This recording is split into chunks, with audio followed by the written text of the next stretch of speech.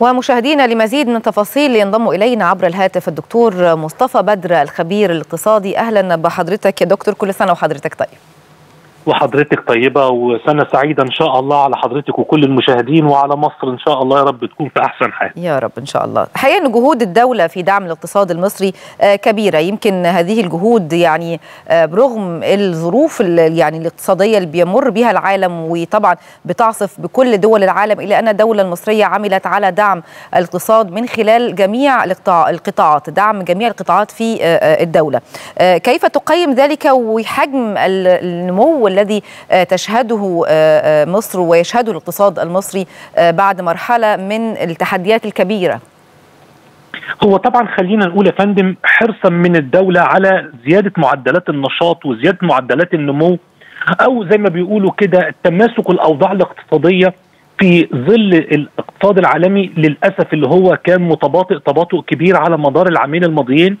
وشفنا إن مصر الحمد لله حققت معدل نمو تقريبا حتى عام 22 23 اللي هو العام المالي قرب ال 4% والمستهدف إن شاء الله في عام 23 24 برضه اللي هو العام المالي إن إحنا نحقق نفس الرقم.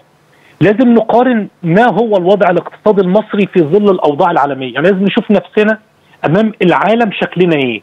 العالم النهارده معدلات النمو بتتباطأ وبتتراجع وفي دول كثيرة منها دول في الاتحاد الأوروبي للأسف بتحقق معدل نمو سلبي ولكن الحمد لله إحنا شايفين ان مصر النهارده في ظل الاوضاع الاقتصاديه العالميه دي والتضخم الكبير وطبعا ارتفاع في أسعار الفايدة العالمية بتحقق نمو تقريبا قرب قرب ال 4% وزي ما إحنا شفنا في عدد من المشروعات اللي متابع الاقتصادي الجيد هيلاقي مثلا الحمد لله زي قناة السويس أول مرة في تاريخها بتعمل تقريبا في نهاية العام اللي هو تقريبا إحنا على أعتابه خلاص خلال ساعات قليلة أكثر من 10 مليار دولار. ده خلاف المشروعات اللي في الهيئة الاقتصادية. لما بنشوف الحمد لله إن في عدد من المشروعات القومية الكبرى ابتدت يكون ليها إنتاجية كبيرة وبتزود النشاط مثال بالبتروكيماويات الغاز البترول ده يعني بمنتهى الأمانة مجهود يحمد أعتقد ده التصور اللي خلى دفع بالنشاط الاقتصادي قرب المعدل 4% يا فندم. عظيم. طيب لو اتكلمنا على إنه فين يعني نحن أين نحن من الاقتصاد العالمي؟ أين يوجد يعني الاقتصاد المصري ترتيبا يعني يا فندم؟ لا خلينا نقول أصل عارفة حضرتك في في شرائح للدول ذات الأسواق اللي هي المتقدمة والأسواق الناشئة. يعني إحنا ما زلنا حتى وقتنا الحالي يعني حضراتكم لو بصيتوا على السوق الأمريكي وده طبعا من أكبر الأسواق عنده معدل تضخم كبير جدا للأسف. عنده تراجع في مستوى العملة النهارده مقارنة بعملات العالم اللي هو الدولار يعني مقارنة بالعملات العالم تراجع 2% ده مؤشر خطر برضه على الأوضاع الاقتصادية العالمية. فإحنا النهارده لما نيجي نقارن إن إحنا بنشوف إن في وضعنا الاقتصادي في ظل التحديات ما ننساش التحدي الاقتصادي بتاعنا مش التحدي اقتصادي قدرات مالية فقط لا. ده عندنا قدرات سياسية للأسف مؤثرة تأثير علينا كبير. الجانب الغربي بالنسبة لنا الدولة الشقيقة ليبيا عندها مشاكل فللأسف مؤثرة علينا تأثير كبير. أشقائنا في السودان نفس الحكاية.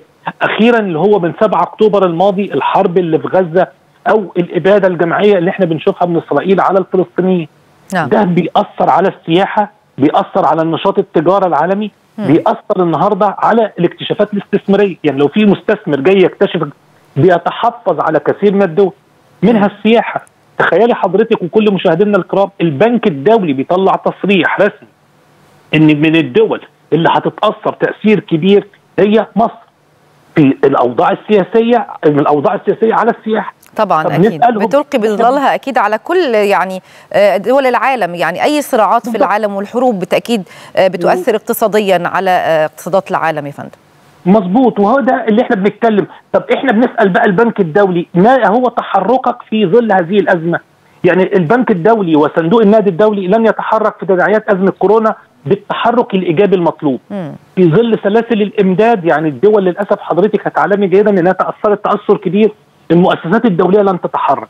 حتى في اللي هي قمة المناخ اللي هي الماضية وما قبلها. م. لو تتخيل حضرتك كمان في ظل الارتفاع الكبير جدا في مؤشرات التضخم اللي مؤثرة تأثير كبير على العالم الأمم المتحدة ذات نفسها بتطلع بيانات رسمية بتقول إن الأوضاع الاقتصادية في العالم للأسف مؤثرة تأثير كبير جدا ومنها على الشرق الأوسط ومنها على الدول في أفريقيا ودون دون تحرك من المجتمع الدولي.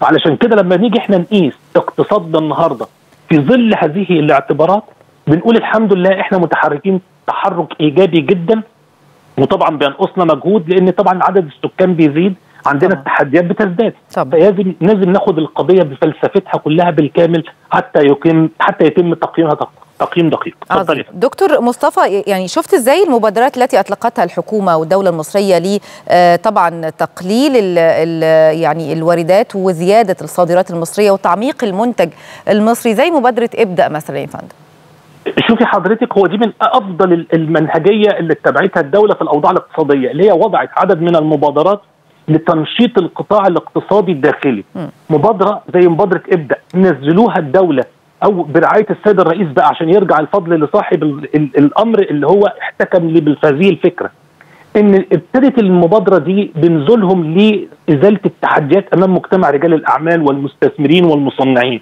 نعم. ولو شفت حضرتك النهارده إن في استحسان من هذا المجتمع اللي هو مجتمع رجال الأعمال والمصانع وما شابه لذلك إن المبادرة دي سندت مساندة كبيرة جدا. لو إحنا حذفنا الكلام ده من القيمة الاقتصادية هنلاقي إن إحنا للأسف كنا هنكون متأثرين تأثير كبير. فلهم فضل إن هم فعلا تحركوا تحرك جيد وشايفين إن هم بيزيلوا الصعوبات أمام المستثمرين.